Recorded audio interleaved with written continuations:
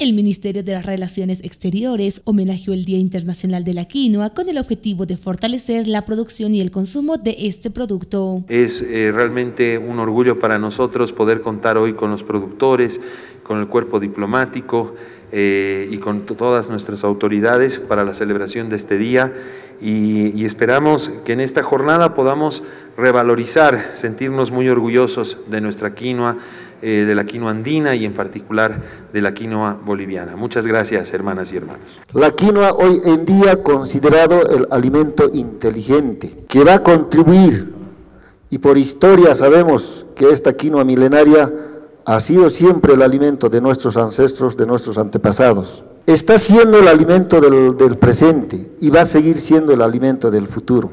Estamos consumiendo salud, se podría decir, porque es un producto natural, ah, ecológico, orgánico y sobre todo nutritivo. La quinoa es un producto milenario, además tiene muchas propiedades, ¿no? entre ellas sales, minerales, proteínas. Les podemos recomendar de que puedan usar la quinoa en diferentes preparaciones, no, no solamente en los que conocemos que es una sopita, una pizarra o un pastel, sino se pueden hacer una variedad de productos, desde dulces, salados, fríos y calientes.